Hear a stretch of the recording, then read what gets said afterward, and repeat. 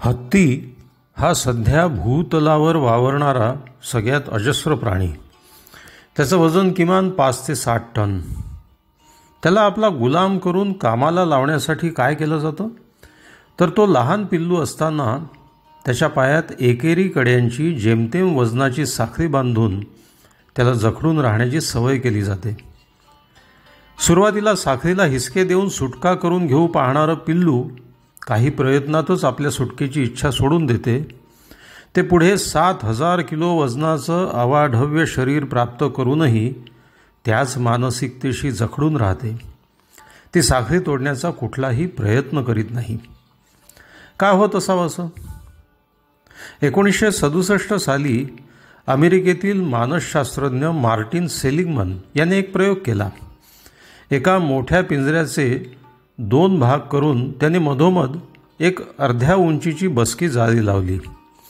आता पिंजऱ्याच्या एका भागात ठेवलेल्या कुत्र्यांना अधूनमधून हलके शॉक देण्यात आले. पंजाने एक खटका दाबून शॉक थांबवण्याची व्यवस्था होती ती कुत्र्यांनी लवकरच शिकून घेतली. मात्र काही काळाने ही व्यवस्था बंद करण्यात आली. आता कुत्र्यांनी खटका दाबल्यावर शॉक थांबत नव्हते. काही प्रयत्न असफल झाल्यानंतर कुत्र्यांनी खटका दाबणं सोडून दिलं. आणि ते तिथेच कणहत पडून राहू लागले. वास्तविक मधली जाळी ओलांडून पलीकडे जाणं सहज शक्य होतं. मात्र त्यांनी तसे कुठलेही प्रयत्न केले नाहीत. सुटकेची शक्यता असतानाही तसा कुठलाही प्रयत्न न करणे आणि आहे ती स्थिती अटळ म्हणून स्वीकारणे या मानसिकतेला मार्टिन सेलिगमनने लर्न्ड हेल्पलेसनेस म्हणजे शिकून स्वीकारलेली असहाय्यता असं नाव दिलं. पुढे अनेक प्रयोगांती असं लक्षात आलं की असहाय्यतेची भावना ही शिकावी लागत नाही. ती माणसांमध्ये जात्याच असतेच. शिकावी लागते ती त्या स्थितीतून बाहेर येण्याची मानसिकता. मुळात ही हतबलता असहाय्यता माणसात काय येते? काही प्रयत्नातच किंवा कधीकधी प्रयत्नही न करता माणूस पराभव का स्वीकारतो? भोवताली ताण निर्माण करणाऱ्या घटना घडायला लागल्या की त्या घटनांवर आपलं नियंत्रण होणं शक्य नाही अशी समजूत करून घेऊन सुटकेची संधी असूनही माणूस प्रयत्न करणं का सोडून देतो? व्यसनातून मुक्त होण्याचा प्रयत्न करणारा काही काळ अपयश आलं तर माझं व्यसन सुटणं शक्य नाही असा विचार करू लागतो. वजन कमी करणारे लोक व्यायाम आहार नियंत्रण इत्यादींचा अर्धवट अवलंब करून प्रयत्न सोडून देतात. अत्याचार सहन करणाऱ्या स्त्रिया हेच आपलं प्राक्तन म्हणून आयुष्य काढतात. वारंवार येणाऱ्या अपयशानं धीर कसणं साहजिक आहे.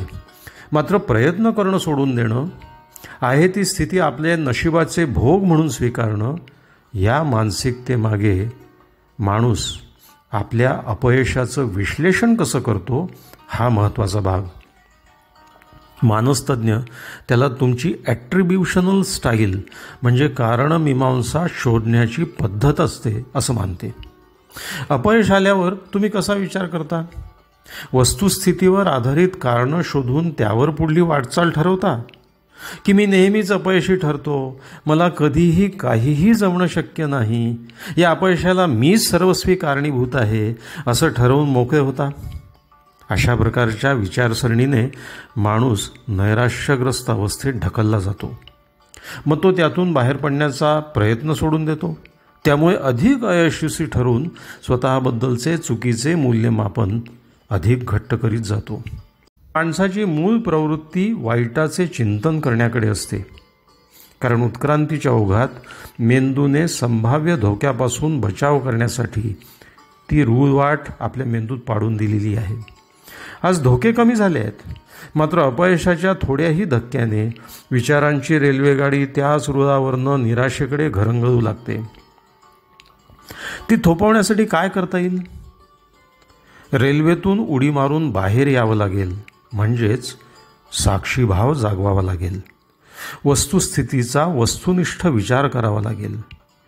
तुमची ॲट्रिब्युशनल स्टाईल म्हणजे कारण विचार विश्लेषण पद्धत जर आत्मटीकेची असेल तर ती बदला.